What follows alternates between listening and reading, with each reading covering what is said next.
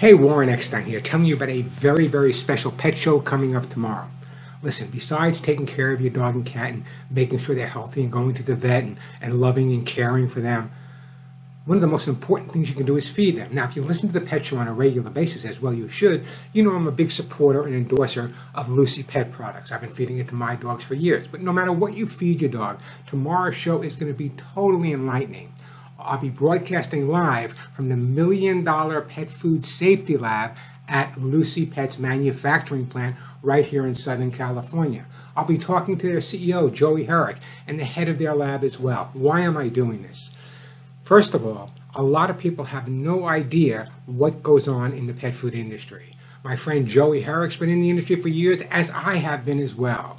And there are so many misconceptions about dog food and cat food. What goes into it? What are you really buying? What does the label say? Are the ingredients true? Are they really tested? Do you really know what's in the product just by reading the labels? So much important information. And are they really tested? Is there laboratories that test them? Do you know exactly what your dog or cat is getting?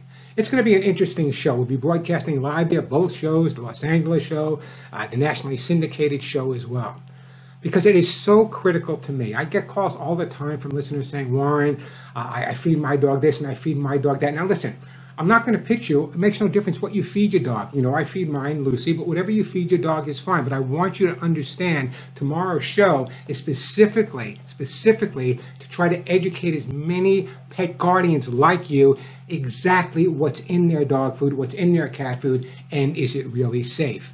And you know, sometimes the answers we're going to give you on tomorrow's show may not be what you want to hear, but it's something that every pet guardian, at least my listeners, because you adore your dogs and cats so much, want to hear. So you're not going to want to miss the show. I've never done this before. I've done a lot of remote broadcasts, but broadcasting live from the million dollar pet food laboratory at Lucy Pet Products tomorrow. So it should be an amazing show. Lots of great information. I'll be interviewing, but I'll also be taking your questions and giving away a lot of stuff as I always do. So don't miss the pet show tomorrow. Uh, you can watch it. The, the entire uh, production, the entire uh, show will be broadcast on my YouTube channel, besides the radio, of course. So check out youtube.com slash Warren Eckstein, youtube.com slash Warren Eckstein. If you want to watch the broadcast tomorrow, I'll be giving you a tour of the entire place, what takes place in the manufacturing of pet food, but more important, what is the end result like?